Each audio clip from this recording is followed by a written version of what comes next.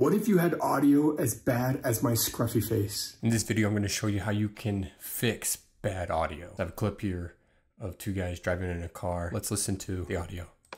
Just park behind that wall.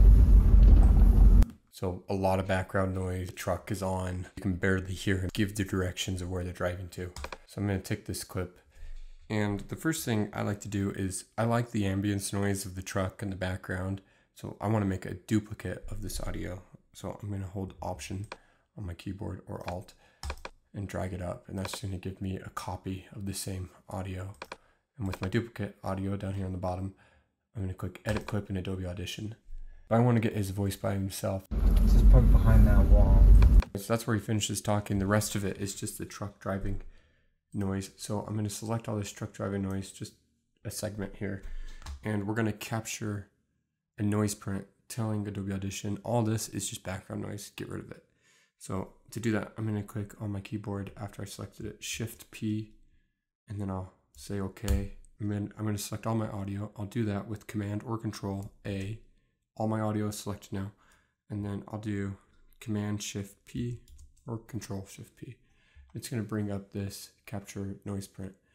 Now I have it set at a noise reduction here of 80% and I have it reduced by 59.3 and my other settings are like this. You can match them if you like them and I'm just going to click apply and that removes all that truck background noise. Now we should just hear his voice by itself.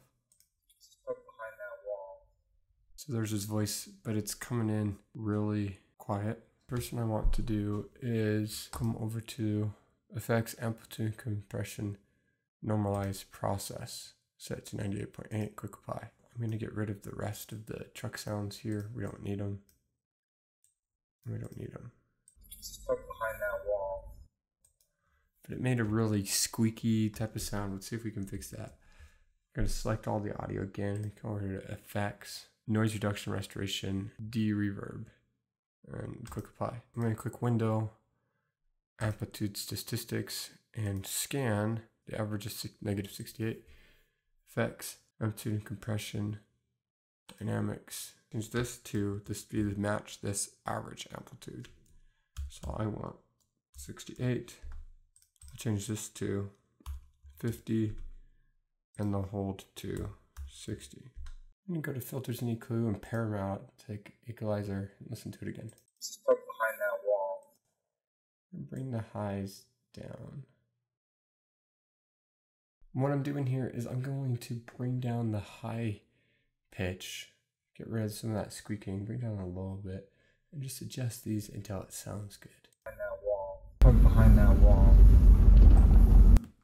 Park behind that wall. At the end of the day, that's probably as close as we're going to get it. If your audio is this bad, you might want to shave.